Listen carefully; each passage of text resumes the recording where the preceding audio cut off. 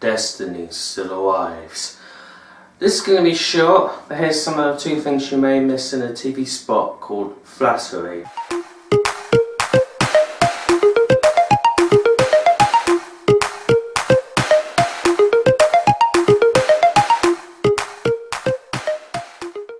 Number two, Wakanda. Not much, but some similar scene, some new scene, some new scenes and some old scenes that we've already seen.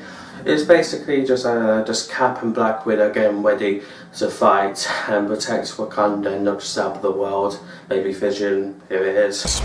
You join Earth. Um, number one, for Guardians of the Galaxy. Basically more comedy stuff I would say. I'm a bit more laughter. Basically, Star-Lord takes the make out of Thor's voice, how he sounds, because they come from Asgard, and they speak, oh, not today, sir.